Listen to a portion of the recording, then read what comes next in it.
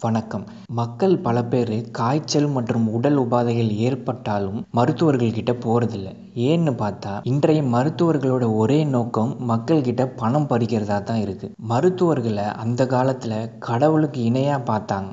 இந்த காலத்தில் அப்படிப்பட்ட மருத்துவர்கள் விரல் வெட்டி என்ற அளவுக்கு தான் இருக்காங்க. இன்றைய காலகட்டத்தில் கோடிக்கணக்கில் பணம் செலவு பண்ணி தான் ஒருத்தன் டாக்டர் ஆகிறான். அவங்க கிட்ட நாம மனிதாபிமானத்தை எப்படி எதிர்பார்க்க முடியும்? மருத்துவம் அப்படின்றது ஒரு சேவையாக தான் இருந்தது. ஆனால் இன்னைக்கு அது ஒரு வியாபாரமாக மாறிடுச்சு. இப்படிப்பட்ட ஒரு காலகட்டத்தில் ஒரு வித்தியாசமான டாக்டரை பற்றி நாம் இப்போ பார்க்கலாம். கோயம்புத்தூரில் ராஜகணபதி நகரை சேர்ந்தவர் டாக்டர் பாலசுப்ரமணியம்.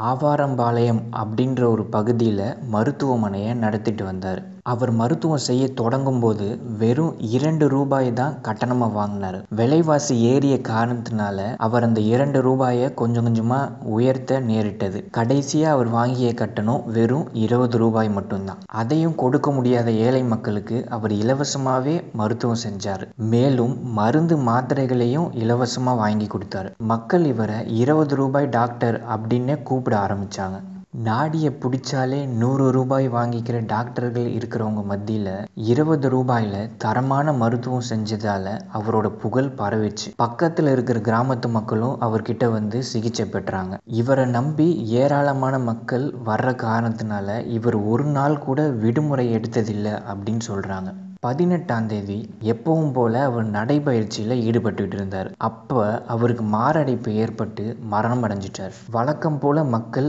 அவரோட மருத்துவமனைக்கு போயிருக்காங்க. மருத்துவமனை மூடி இருக்கிறத பார்த்துட்டு அவங்க அதிர்ச்சி அடைஞ்சாங்க. ஏன்னு பார்த்தா இது வரைக்கும் அந்த மருத்துவமனையை மூடினதே இல்லை. என்ன ஆச்சுன்னு தெரியலையே அப்படின்னு கவலைப்பட்டு அவரோட வீட்டுக்கு போய் விசாரிக்க போயிருக்காங்க. அப்பதான் அந்த டாக்டர் மரணம் அடைஞ்சிட்டாரு அப்படின்ற துயரமான சம்பவமே அந்த மக்களுக்கு தெரிஞ்சுது. மக்கள் கண்ணீர் விட்டு அழுதாங்க. ஆவாரம்பாளையத்தில் பல இடங்களில் ஏழைகளின் தெய்வத்திற்கு இதய அஞ்சலி அப்படின்னு கண்ணீர் அஞ்சலி போஸ்டர்கள் ஒட்டப்பட்டிருந்தது. ஏராளமான மக்கள் அந்த டாக்டருக்கு மெழுகுவத்தி ஏற்றி அஞ்சலி செலுத்திக்கிட்டு வராங்க. இவரை போன்ற மனிதாபிமான மனிதர்கள் இருக்கிற காரணத்தினால தான் உலகம் இன்னைக்கும் ஒரு உத்வேகத்தோட சுத்திக்கிட்டு இருக்கு. இவருடைய ஆத்மா சாந்தி அடைய எல்லாம் வல்ல இறைவனை நாம் வேண்டிக்கலாம். இதை கேட்ட அனைவருக்கும் நன்றி வணக்கம்.